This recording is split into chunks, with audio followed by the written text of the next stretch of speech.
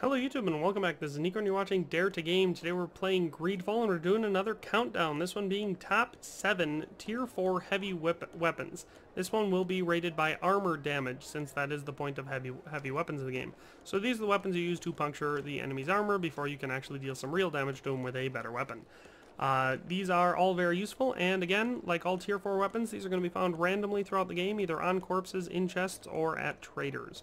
So that is really the best tips I can give you on where to find these. So as far as locations go, you can feel free to ask, but I won't have a specific answer for you. But in any case, let's start it off with number 7. So at number 7, we've got this great brute of a weapon, the Blackened Executioner's Axe. This one having a physical damage of 301, so pretty high, but a nice armor damage of 94. Uh, unfortunately, being a big two-handed weapon, it is a little bit slower than some one-handed weapons, so I personally don't use them as much as the one-handed ones. But with that being said, it does have the best armor damage. So this one's great for getting in, getting two or three swings, breaking down the enemy's armor, and then getting your better, quicker weapon out. So that is number 7. Let's move on to number 6. So at number 6 we have the Great Steel Hammer, and this thing is a brute, it looks like. Uh, I can't imagine wanting to swing this thing too often. It has a physical damage of 370, putting it decently higher than the last one, and a armor damage of 96, putting it just a couple points higher than the last one. But that is number 6, let's move on to number 5. So at number 5, we've got this lovely looking weapon, the Heavy Mace with Steel Edges. This one having a physical damage of 380 and an armor damage of 98. Look at the flanges on that bad boy. You can really whale in someone's armor with that.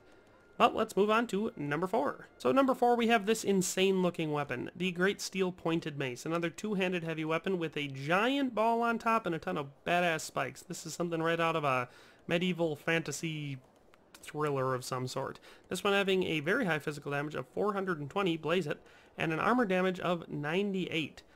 Just can't even imagine swinging that bad boy around. That's just ridiculous. But let's move on to number three.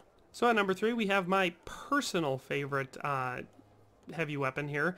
Uh, the Impaling Steel Hammer, a nice small warhammer, very realistic. Uh, this one having a physical damage of 231, so significantly lower than the other ones, but an armor damage of 108. And the reason I like these ones is because they swing faster, so you can actually hit quicker. You know, the reach isn't quite as long, but you can get two or three hits in in the time it often takes one for the other ones. So this is number three, but in my personal opinion, it's my favorite. So let's move on to the runner-up at number two. So at number two we have this giant sledgehammer looking weapon called the Demolition Mace. This one having a physical damage of 400, very high, and an armor damage of 111. Very insane stats there. But it doesn't, uh, it's not very hard to believe given the just gigantic size of that hammerhead. So that's number two, and let's finally move on to number one. So at number one, we of course have the Great Steel Warhammer. This one with a physical damage of 352 and an armor damage of 114, making it the highest armor damage of any tier 4 heavy weapons. That's these purple ones, as yeah, you know I said before. This one, uh, very cool looking in my opinion. Like I said, I prefer the one-handed ones, but very large head with a spike on the back and a spike on the front. Uh, looks like it'd be very useful, but also very heavy and very tiring.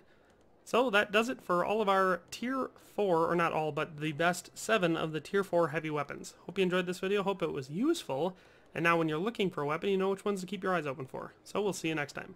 Thanks for watching another Dare to Game video. If you liked this video, please leave a like and a comment. If you haven't already, be sure to subscribe to the channel. If you like my content and would like to support this channel, consider becoming a member today for as little as $1.99 a month. It makes a huge difference. But in any case, thanks for watching and have a nice day. I'll see you next time.